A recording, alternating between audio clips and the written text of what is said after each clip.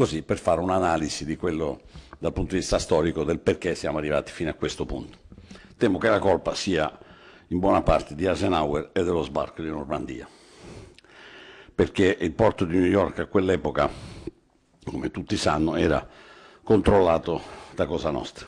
E eh, occorreva per la logistica dello sbarco di Normandia che il porto fosse efficiente. E quindi come eh, a molti atti giudiziari hanno registrato ci fu un accordo eh, che prevedeva da un lato la, diciamo, la scarcerazione di Franco Costello che era stato arrestato e dall'altra parte l'indipendenza della Sicilia. Questo accordo dopo la guerra diciamo, dette origine a questo statuto differenziato eh, della Sicilia che poi consentì, devo dire, con intelligenza anche ad altre regioni, ma per ragioni completamente diverse.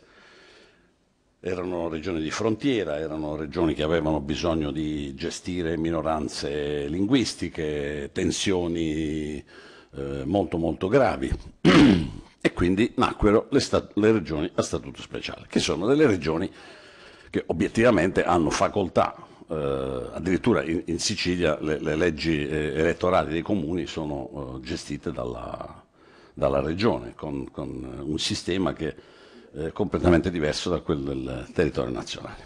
E questo a un certo punto eh, viene acchiappato dai teorici eh, con un meccanismo identico, dai teorici della secessione, che, che non si incarnano necessariamente in un partito politico, i quali evidentemente anche con un atteggiamento tattico, perché io non posso pensare che qualcuno pensasse seriamente di staccare so, la Lombardia o il Veneto, anche perché mio nonno in Veneto ci è andato a combattere eh, e la brigata Bari per eh, evitare che gli austriaci dilagassero a Bassano del Grappa si è immolata con centinaia di morti al ponte San Lorenzo, quindi era difficile che si dimenticasse la storia del, della cosiddetta ultima guerra di, di risorgimento. E quindi, eh, sinceramente, eh, quando siamo passati, perché è sempre una questione di soldi, Presidente, ma è inutile che ci pigliamo in giro, è sempre una questione di soldi ed è ovvio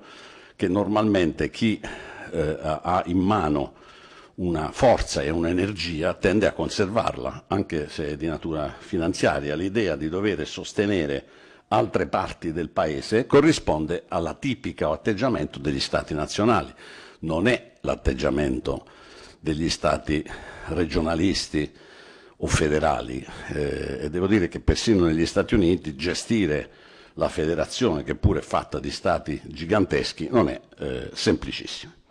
E in questo processo eh, si dice, il centro-sinistra scrive il 116,3, che è l'unica argomentazione che mi viene opposta quando...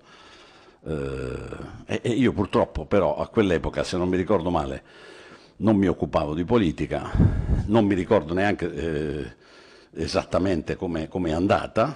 Eh, di recente ho parlato con D'Alema, che era Presidente del Consiglio, e mi ha detto no, ma io ero contrario, lo dissi anche ad, ad Amato, che ero contrario, e poi le cose sono andate eh, come sono andate. Viene scritta una norma per trattenere alla patria chi se ne voleva andare. Eh, ora,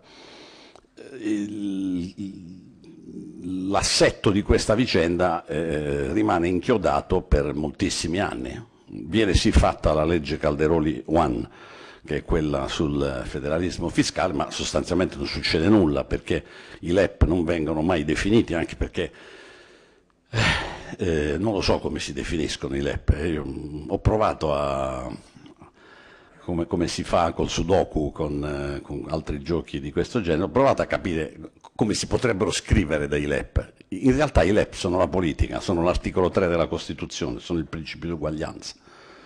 Ed è una roba che non si fa con una commissione, si fa governando, si fa legiferando, si fa lottando, si fa sui diritti, sulle infrastrutture, sull'efficienza, sul modo di esprimersi eh, dei territori, ma anche sul diritto. Io ho sentito l'audizione del collega delle Marche che per eterogenesi dei fini voleva sostenere le ragioni dell'autonomia, ma in realtà nel suo intervento ha chiaramente sostenuto le ragioni di un governo nazionale delle infrastrutture e forse non se ne è accorto perché è una voce dal sen fuggita, eh, anche perché queste ovviamente sono materie per parolai come me, io ho lavorato sempre con le parole, quindi so come utilizzarle in tutte le maniere, con tutte le capriole necessarie. Quel che dispiace in questa vicenda è che venga addirittura contrabbandata per una cosa che si fa per il mezzogiorno. Perché non ce lo meritiamo. Non ci meritiamo di essere trattati così. Ve lo dico dal profondo del cuore e con sincerità.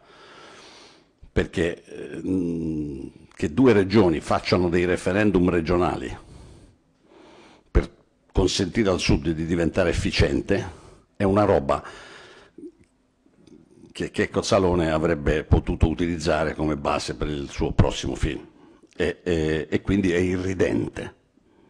Essere irrisi in una condizione di difficoltà, perché il Sud è in una condizione di difficoltà, irrisi anche quando si fa uno sforzo enorme, come stiamo facendo in Puglia negli ultimi vent'anni, per venire fuori dalla cosiddetta questione meridionale, con tantissimi problemi e devo dire con tantissime ancora mancanze da parte nostra che nessuno nasconde, ma devo dire anche con tantissime mancanze da parte eh, del governo nazionale, perché effettivamente ciò che rende difficile difendere l'attuale eh, situazione è che eh, non è stata utilizzata in modo adeguato. Allora si dice, siccome i meccanismi perequativi naturali dello Stato nazionale, incarnati dall'articolo 3 della Costituzione, e dal 119 se mi permettete anche perché ce li ha dentro i, i meccanismi perequativi. Siccome non hanno funzionato adesso ve li togliamo. Siccome non ha funzionato il sistema come avrebbe dovuto, adesso ognuno eh, si, si, chiami eh, delle materie supplementari e vi faccio una domanda, ma nella legge Calderoli c'è scritto in base a quali criteri il governo può dire sì o no? O è l'articolo quinto che ha in mano ha vinto? E che succederà quando l'articolo quinto determinerà la violazione dei principi costituzionali?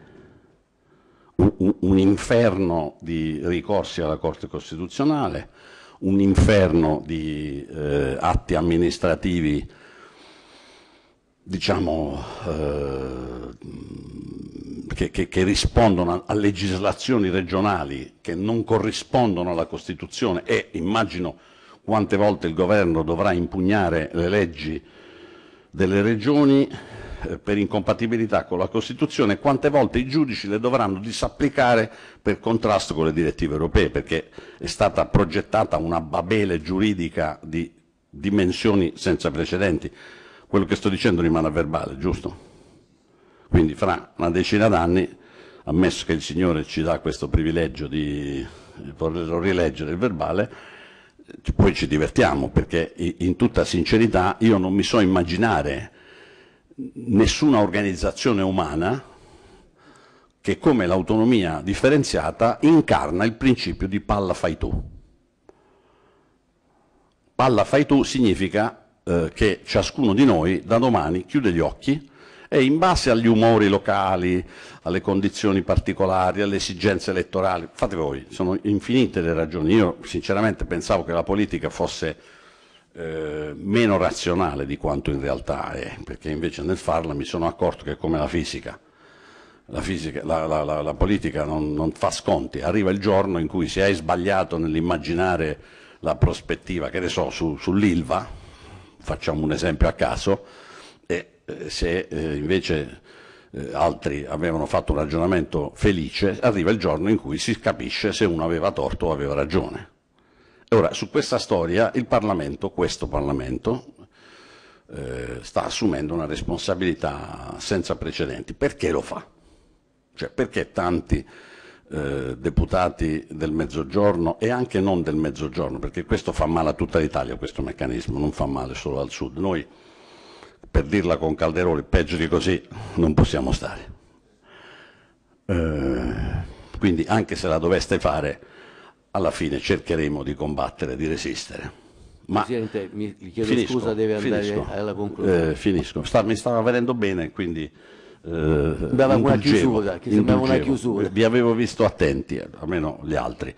Eh, dicevo quindi che io mi, mi chiedo perché eh, questa questione è diventata urgente, da fare ad ogni costo nonostante le evidenze sulla impossibilità di fare una politica perequativa reale in un momento diciamo, in cui sono 20, 25 anni, 30 anni che eh, l'Italia non riesce ad avere una crescita economica decente, si può immaginare un meccanismo di redistribuzione dei poteri dell'interno della Repubblica e della governance in un momento eh, così lungo di crisi e, e, di mm, mancata produzione della ricchezza, o, o, meglio ancora della finanza pubblica per essere più chiari. Allora, se tutto questo vi sentite di eh, assumerlo sulla vostra responsabilità, eh, fatelo. Noi, diciamo, la Puglia e le regioni del sud in qualche maniera faremo. Certo, la, la, la furbizia di inserire la, la, norma in un annesso finanziario, la, maggioranza eh, rafforzata col quale viene approvata l'intesa, tutte finalità per cercare di evitare che la Corte Costituzionale non, non metta mano a questa roba. Ma voi siete il Parlamento, siete più importanti della Corte Costituzionale. Perché la Corte Costituzionale ci mette eh. una pezza ma il sovrano è il popolo italiano che attraverso voi si esprime e quindi mi auguro che decidiate per il meglio. È, è, una delle poche cause che so di perdere prima ancora di cominciarla, quella che ho fatto, ma siccome è una causa giusta va comunque combattuta, scusatemi se vi ho fatto perdere tempo.